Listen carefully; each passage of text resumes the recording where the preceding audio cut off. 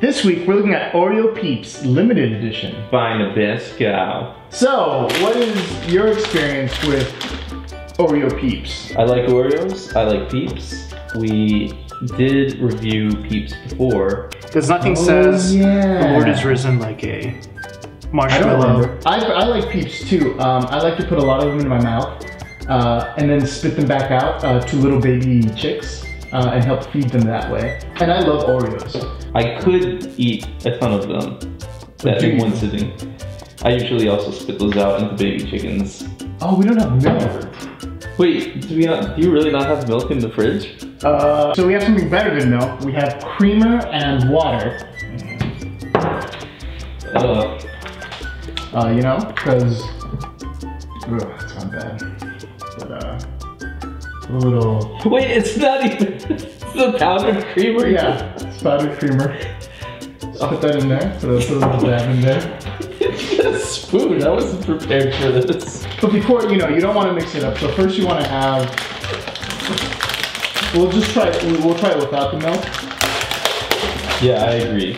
I think that's a good idea. Oh, see, look, they're nice and like pink. Yeah. So you know, I'm gonna normally I twist. I'm just gonna taste it. I'm not gonna twist it off because I just want to taste it is.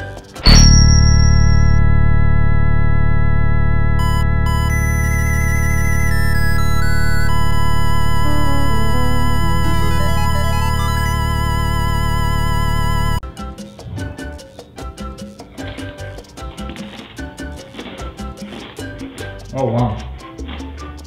It's the vanilla cookie. It's not the chocolate one. It definitely tastes like um, marshmallow.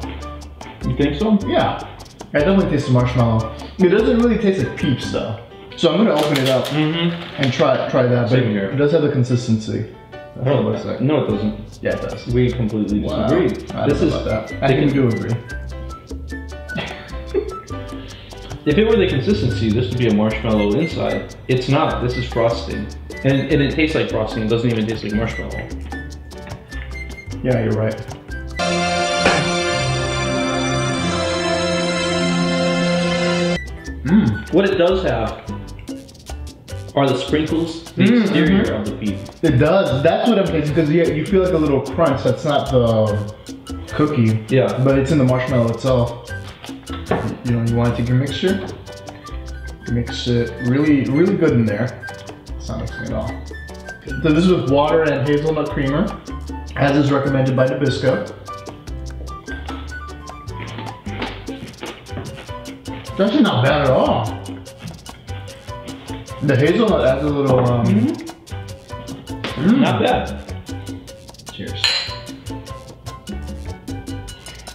Mm.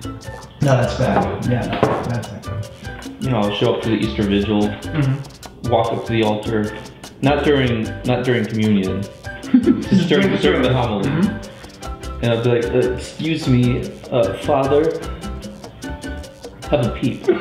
Have a close your peep. Have a peep. I honestly thought it was gonna be like a peep in between two cookies, but it's not that. Because of that, I'd give it seven doubting Thomases. But it's it seemed to be a little bit false advertising. Seven out of ten Passions of the Christ.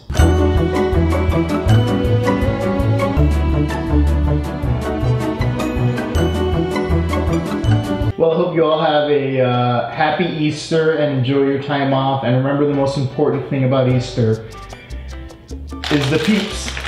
So don't forget your peeps for Easter. And also baskets. Not baskets of things, just baskets. Just baskets, yeah. I'd do that.